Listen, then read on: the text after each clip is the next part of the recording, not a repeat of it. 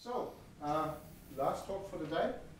This is uh, Asbjørn, and uh, he contacted me a very short while ago and told me something, a little bit something that I did understand and some mumbo jumbo about web application security.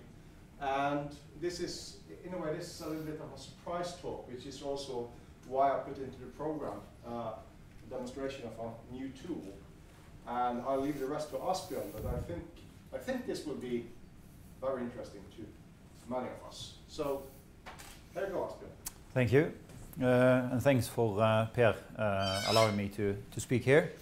So um, I will talk to you about uh, how we can, uh, a way to uh, by bypass passwords. I'm from Awareness Security and this is my first passwords talk. Um,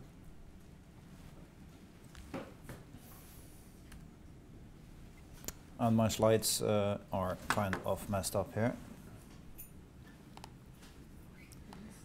like this. So, just quick about my background. Uh, I just love web application security. Uh, I have been a pen tester since, a penetration tester since 2008. Uh, and uh, that's when I began to, to uh, yeah, interest me in uh, web application security. I have a programming background. and um, uh, I'm going to use uh, uh, an example of uh, LinkedIn today uh, in my uh, talk, and that's not because I hate them. I, I like them. I have told them they had a, have a problem. I will show you this problem. maybe a lot of you have heard about these kinds of problems before, but um, at the end of my talk, I'm going to show you a new tool, a tool that we have made especially for you now. Uh, it's a very new tool with a few issues uh, left to fix, but um, yeah, we will show you. So I always have this warning. Uh, this is for educational purposes only. Don't do this at home, yada yada. Uh, you know the drill. so uh, So, uh, uh, what, what concerns me about uh, uh security when uh, I store my data uh, somewhere? I'm concerned whether my data is secure or not, of course. I guess all of you think the same way that I do. I'm concerned whether the website that I use is safe, is as safe as necessary, and the problem that I will show you now is a recurring problem, so that's why we do this and undust uh, this once again. So, uh, the thing is about what I'm going to show you that uh, you have uh, security available, but it's turned off by default. So uh, uh, we have a lot of un unencrypted networks around the place with coffee places and airport, and yeah, th that's a lots of places. I, I, I will show you what I uh, in a demo what I'm uh, quite excited to show you. Uh, but we have to do a session, sessions in 30 seconds because that's what it's about. So you make a request to a site, for instance LinkedIn, uh, you get a response uh, back. Uh, you send the username and pass password once and you get a cookie. And the cookie will be sent back and forth uh, as the secret uh, show that you're authenticated. So I have a question for you guys. How many of you type in https colon slash slash www and so on? Uh, how many of you? Yeah. Uh, and I think uh, the ma majority of people using, for instance, LinkedIn, just writes LinkedIn com and press enter, right? So, uh, is that important? Yes, that's a very important uh, difference. So, uh, you have authenticated via HTTPS, uh, and you think, okay, that's secure enough for me. Uh, check. So, the username and password was encrypted, so I feel safe. Check. So, now your traffic is safe. No. So uh, uh, I, I, would like to show you uh, uh, an email uh, that I sent to, uh, this is actually the response. Um, so I tried to tell you have an issue. Yes, you have HTTPS when you log in, but afterwards the cookie goes in the clear. So I'm able to snatch it and become whoever I want. So they shortly um, they, they, just told me that uh, okay, you went into the page via uh, LinkedIn.com and not HTTPS colon slash slash uh, www and so forth and so on. So it's my fault. So they told me that uh, what you should do is go into this uh, link and uh, choose security. So they have uh, the security option uh, available for you. But how many of you guys have went in there to uh, check it? One, two, three, four, five. Yeah, that's good. So I just want to, I, I, I really like LinkedIn, but I, I want to show you this uh, just to understand. Uh, it's quite an important thing to, to try to get them to uh, understand and uh, use HTTPS by default. So this is uh, just some pictures I've taken. So you, you can see the S up here.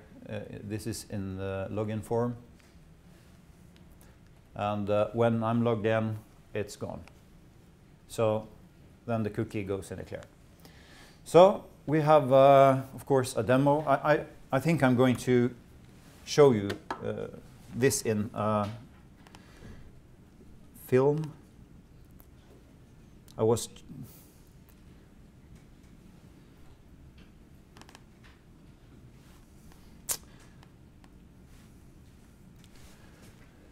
so here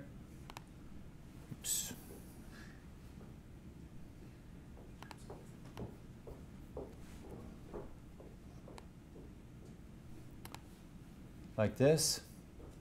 Ah, it's quite small actually. And we will run this uh, movie and I'll use the time to explain what when we see in this movie. I'm just deleting uh, the cookies now just to show you in Firefox. This is Firefox, that's the attacker attacker's browser. So we're trying to get logged in uh, in Firefox. So I start Wireshark this is Safari, this is the victim, and uh, we are going to log in here. So now the, the uh, Wireshark is uh, sniffing the traffic. I did something wrong there, yes. So now I'm logging in. I'm uh, in an unsecured network. Uh, there is a guy who sniffs the traffic with uh, uh, monitoring mo mode on his network card. And here's he, he's logged in. Just uh, uh, see this link. Yeah, we'll get back to that. So here is the attacker. So I just show you here, just pressing enter that we're still not logged in.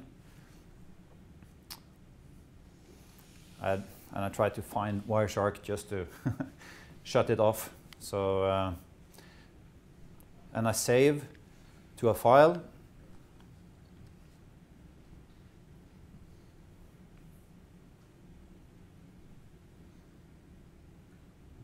Save.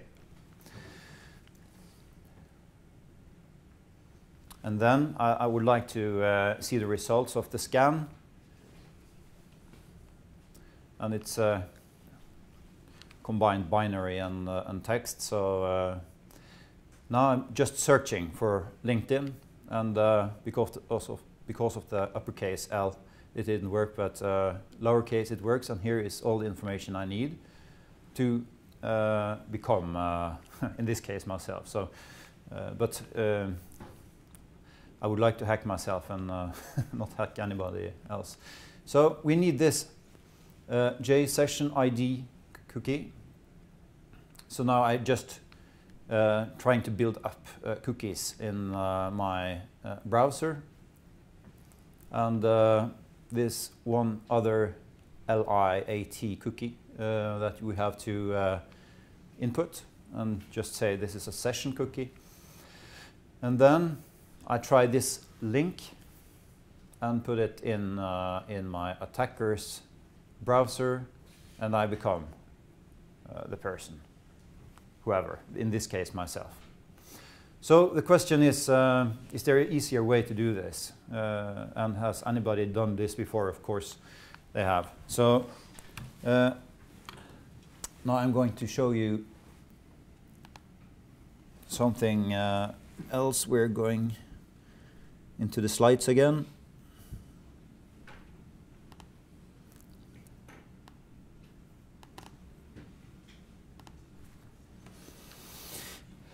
So the question is, why don't we use HTTP all the time? Uh, because it's more resource hungry. It's uh, than uh, normal HTTP. You can uh, only host a single domain per IP address when using HTTPS. I know that's kind of, uh, uh, you have something called server name indication.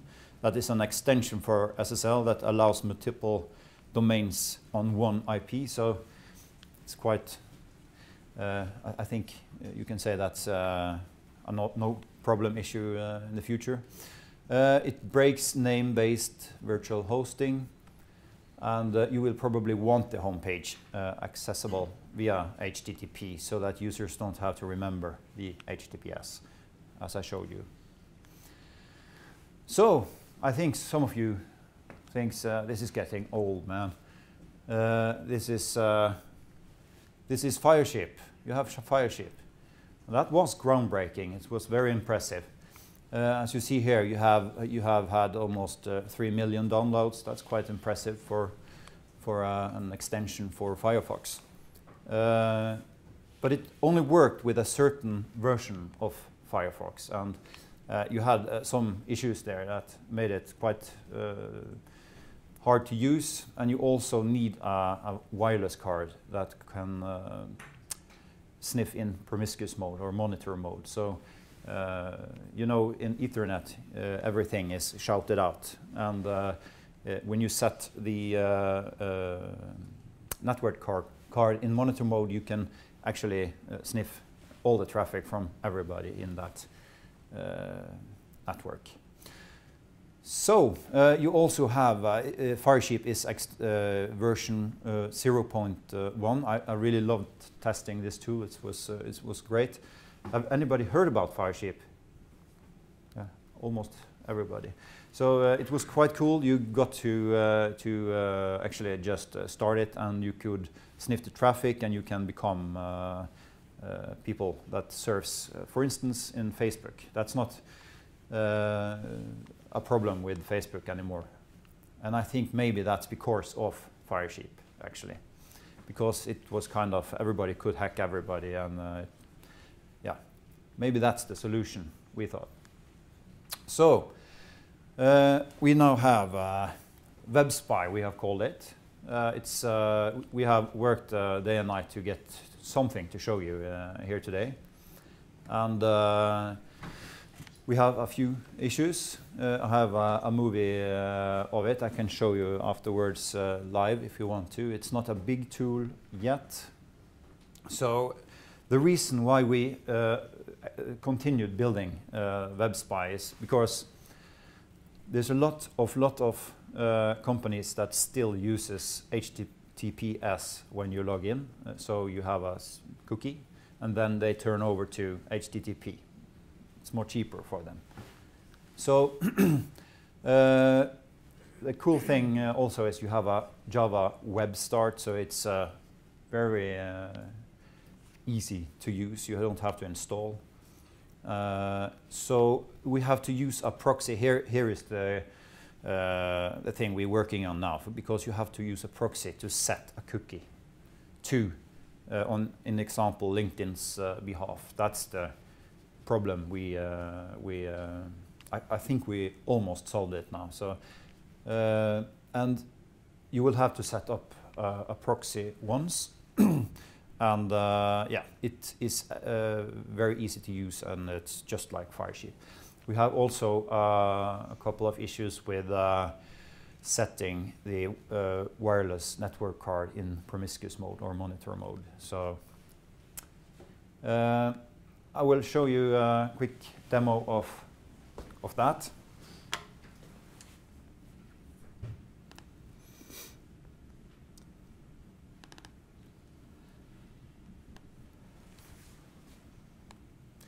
And uh, here I am logged in. So uh, this is uh, Opera, and we have uh, uh, an inlogged uh, session and we will try to uh, catch that cookie with WebSpy. So um,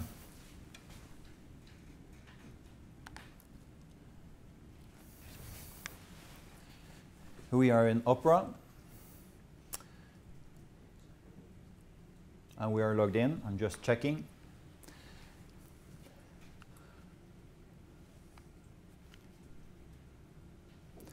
And then we start this web spy thing. And we just check for, in this case, I use uh, a mode which uh, captures everything. So when I push enter again now, it should have uh, catched the uh, cookie in the clear. Here we go.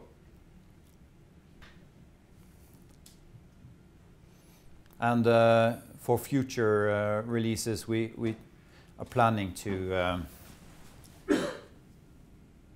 we are planning to show only the, for instance, the first three digits in the password or something, just to scare people a bit.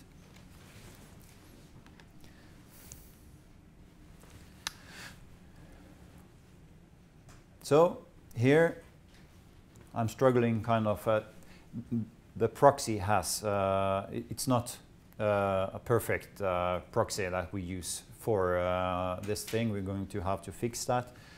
So here on my proxy, I have to set localhost here and listen to 1337, of course, uh, port.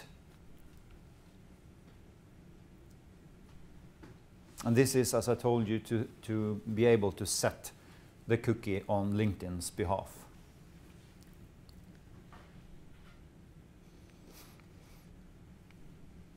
And uh, the bug uh, uh, is uh, I, have to uh, actually turn off the proxy again afterwards to make it work and refresh the site.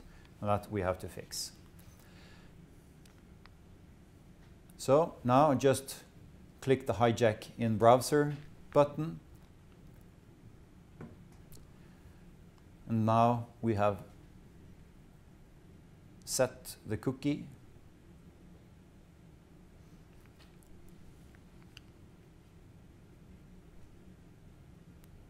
and this is the error message. You saw I was in, and then I was redirected to this error site, and that's the uh, proxy. It's a proxy problem, so we have to fix that. So when I just turn off uh, the proxy again and refresh the site, I'm in. So when we can get rid of these uh, issues, you have similar to, uh, to uh, Firesheep, uh, a point and click, we can, uh, of course, fetch this uh, picture of uh, this lovely picture of this lovely person down to uh, click on, and you can become become this person, and uh, yeah, and so forth and so on. And uh, so, the what do we do uh, to to uh, not be vulnerable for this kinds of uh, this kind of problem?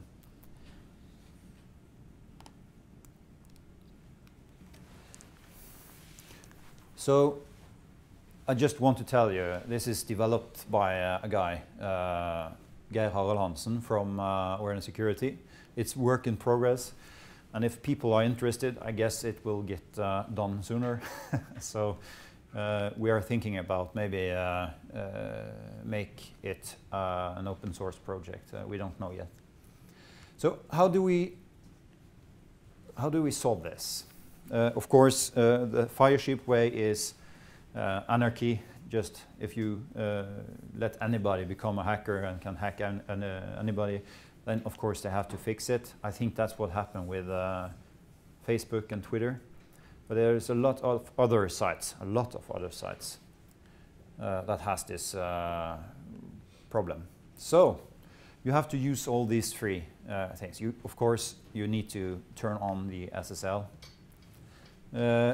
and you have to. Uh, the, these two uh, kind of do the uh, the same thing, but here you set a, uh, session cookie, and you set HTTP only and secure. So you only if if you are if the client tries to or the browser tries to uh, speak to the server by HTTP, the server says, "I hear you, but here we you're only allowed HTTP uh, if you want to speak with me."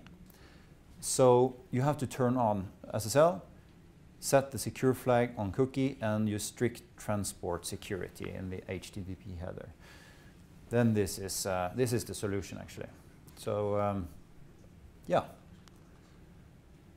I'm a bit early uh, finished here. Uh, I will take uh, questions, of course, if anybody has any. Yes. Um, in relation to the cookie you captured, uh, would you imagine that that's going to remain on the hard disk, or that you looked to see whether it only ever gets temporarily cached and would end up in a page file only? Yeah. Uh, could you please uh, one more? So, if so I the cookie that you captured from Yeah. the web spy, um, have you done any research to see whether that cookie ends up on its own on the disk, uh, or does it only sit in memory and then therefore probably only go to page one? we haven't done. Uh, yeah, he he, he uh, asked me if um, the question is uh, is the cookie s- stored somewhere uh, except uh, yeah uh, to hard drive? Yes. Ah, okay. So we're not. Uh, I, I haven't done any research around it, but I think it's in memory. And when the other people, uh, the other person, the uh, the victim logs out, you're also logged out. But you can do some damage in in between. I also think this cookie lasts for uh, quite some time. So I haven't uh, done any research uh, of that either, but I, I think it's quite some time because I'm still logged in. I think I've been logged in for a week or something. Hmm. Any more questions?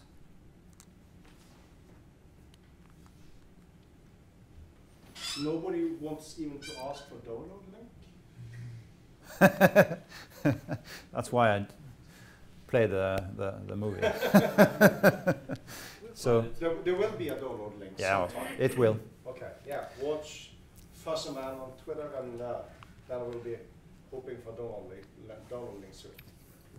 Uh, Could you publish also this presentation uh, video files?